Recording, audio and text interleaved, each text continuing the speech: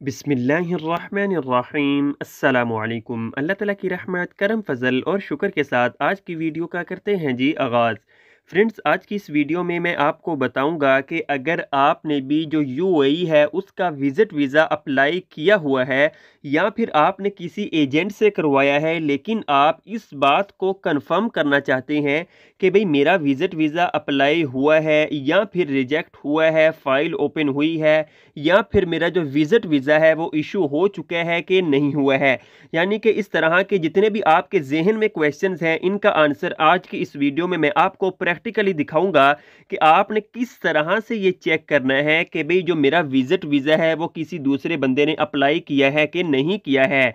तो चलिए जी स्टार्ट कर लेते हैं। यूट्यूब चैनल पर नए हैं तो यहीं पर ही यूट्यूब चैनल को सब्सक्राइब कर लीजिएगा और इसके अलावा वीडियो अच्छी लगे तो भाई वीडियो को भी लाइक कर दीजिएगा। तो आपने सबसे पहले क्या करना है, अपने मोबाइल फ़ोन में जो गूगल क्रोम है उसको ओपन कर लेना है। तो आपके सामने इस तरह का इंटरफेस शो करेगा। अब यहाँ पर आपने सर्च बार में टाइप कर लेना है स्मार्ट सर्विसेज़। जो आपको टॉप पे लिखा हुआ मिल रहा है, इसी का लिंक मैं डिस्क्रिप्शन बॉक्स में भी दे दूँगा। तो आप वहाँ पर क्लिक करके इजीली आप होम पेज पर चले जाएँगे। तो मैं क्या करता हूँ, इस पर इंटरप्रेस कर देता हूँ और मेरे सामने अब नया जो इंटरफेस है वो ओपन हो जाएगा। यहाँ पर थोड़ी सी लोडिंग हो रही है तो मेरे सामने इस तरह का इंटरफेस शो कर रहा है। अगर यहाँ पर आपको लैंग्वेज का इशू हो अरेबिक शो कर रहा हो तो आप फिर क्या कर सकते हैं? इंग्लिश पे क्लिक कर सकते हैं। अब यहाँ से आपने क्या करना है? थोड़ा सा नीचे की तरफ़ आ जाना आ जाना है। यहाँ पर आपको शो कर रहा है फ़ाइल वैलिडिटी तो आपने फिर क्या करना है? इसके नीचे आ जाना है। यहाँ पर आपने पासपोर्ट इन्फॉर्मेशन के ऊपर टिक कर देनी है और इसके अलावा आपने सिलेक्ट दी टाइप के ऊपर क्या क्या करना है? वीज़ा के ऊपर टिक कर देनी है। यानी कि जो आपने, ये, जो, ये दोनों जो टिक्स हैं पासपोर्ट इन्फॉर्मेशन और वीज़ा इन दोनों पर टिक करनी है। फिर इसके नीचे आपने आ जाना है। तो जैसे ही आप यहाँ पर आ जाएँगे तो यहाँ पर आप तो आपने क्या करना है? टॉप पे पासपोर्ट नंबर जो आपका पासपोर्ट नंबर है, वो यहाँ पर आके आपने ऐड कर देना है। दूसरे नंबर पर आपने क्या करना है? पासपोर्ट एक्सप्रेस डेट, यानी कि जो आपके पासपोर्ट की इशू ख़त्म होने वाली डेट है, किस तारीख को जो आपका पासपोर्ट है वो ख़त्म हो रहा है, एक्सपायरी डेट, वो यहाँ पर आके आपने क्या करना है? ऐड कर देनी है।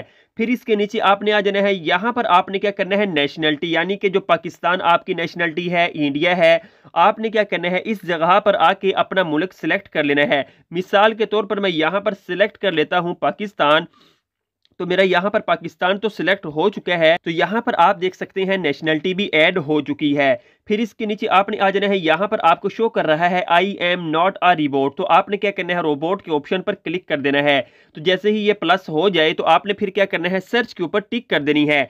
अब यहाँ पर मैंने कोई भी वीज़ा अभी अभी तक अप्लाई नहीं किया हुआ है, लेकिन आप ये जैसे ही ये सारी की सारी चीज़ें ऐड करके सर्च करेंगे, अगर तो आपको ये शो करे कि भाई नॉट फाउंड रिकॉर्ड इसका मतलब ये है कि अभी तक आपका वीज़ा अप्लाई नहीं हुआ है।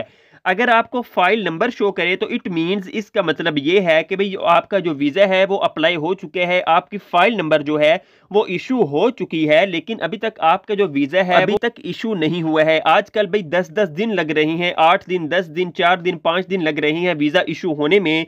फ़ाइल जो जल्दी इशू हो जाती है लेकिन जो ब्लैक लिस्ट है वो भाई वो लंबी चौड़ा प्रोसेस है तो वो वहाँ पर टाइम ले लेता है चार दिन का भी ले लेता है पाँच दिन का भी ले लेता है नौ और दस दिन का भी टाइम ले लेता है। अगर आपको फ़ाइल नंबर इशू करे इट मींस इसका मतलब फिर ये हुआ कि भी जो आपका वीज़ा है, वो अप्लाई हो चुका है, लेकिन अभी तक वीज़ा इशू नहीं हुआ है फ़ाइल इशू हो चुकी है। तो भी इस तरह से फिर आप क्या कर सकते हैं? इस जगह पर आके अपना जो वो वीज़ा है, जो विज़िट वीज़ा है, वो यहाँ से आके इजीली और आसानी से चेक कर सकते हैं। अगर आपके माइंड में कोई और भी क्वेश्चन हो वीज़ा के रिलेटेड तो भाई आप मुझे कमेंट बॉक्स कर सकते हैं। इन मैं आपके जो क्वेश्चन हैं, उनका आंसर देने की मुकम्मल तौर पर कोशिश करूँगा। आप सबके कीमती वक्त का बहुत बहुत शुक्रिया। अल्लाह निगहबान असलकुम